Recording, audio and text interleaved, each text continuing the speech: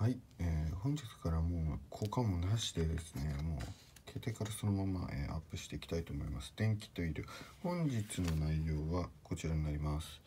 機械の法律ですね、えー特にですね病院で勤務されているような方々がですね、まあ、機器の法律どんなのがあるかなっていうのを、えー見ていただく際に、えーポイントとなる部分を、えー説明していきたいと思います。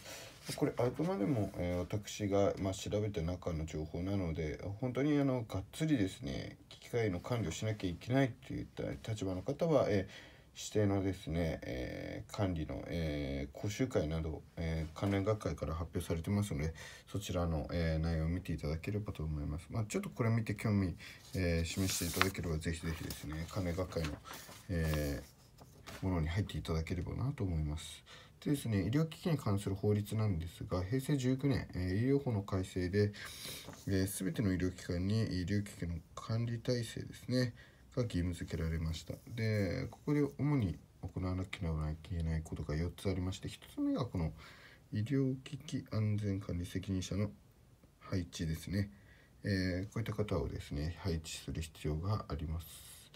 で、えーこの方が行わなければいけない、まあ、体制を構築しなければいけないことがありましてそれが1つ目が保守点検の、え計画作成と適切な実施、え2つ目が安全使用のための情報収集。と改善策の実施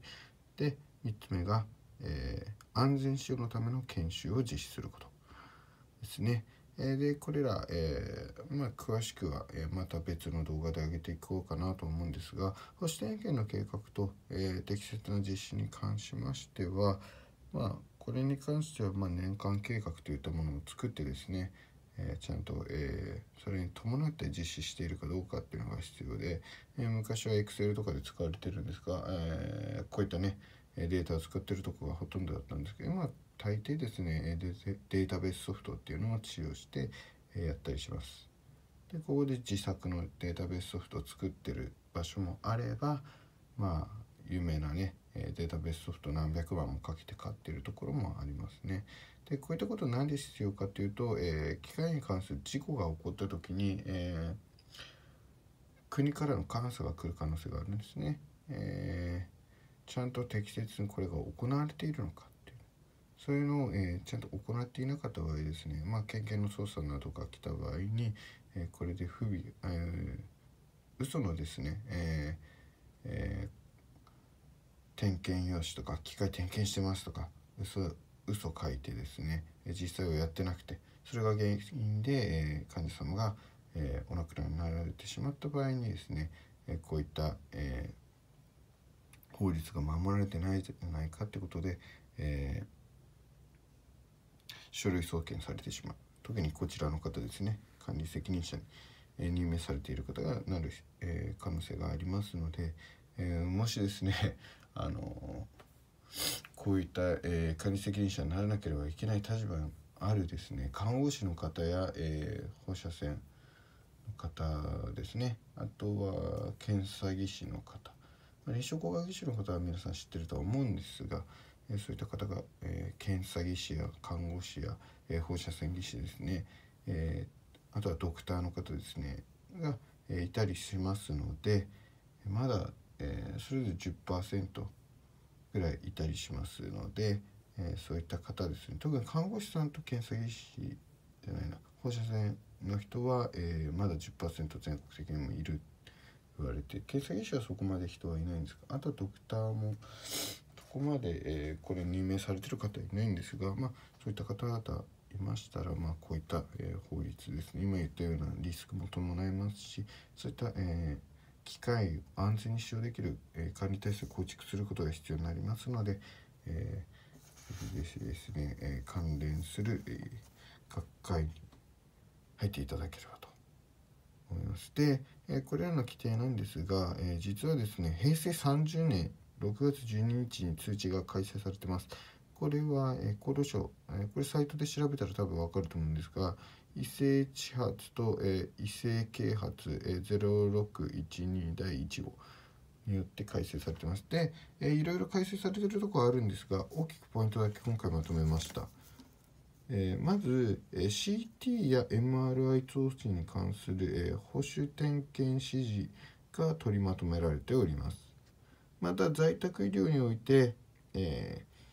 これ在宅結構医療業界に出てきてるんですが在宅医療によって、え、患者宅やその他の場所で使用される医療機器も、え、管理の対象とされましたなんで今までですね結構ほんわかしていまして CTMRI 装置これなんか特にですね結構えっとどういうことすればいいのって言ったぐらいの、えー、内容だったんですね。まあ、あの機械の点検自体がですね、えー、独自判断業務とかにな当たるので何とも言えないんですが基本的にはメーカーが、えー、推奨するようなものをですね、えー、やるのが一番で、まあ、メーカーにお願いするのが一番です。ただすごいお金がかかるんですね。だからあの病院経営の観点からもですね全ての医療機器を、えー、メーカーの、えー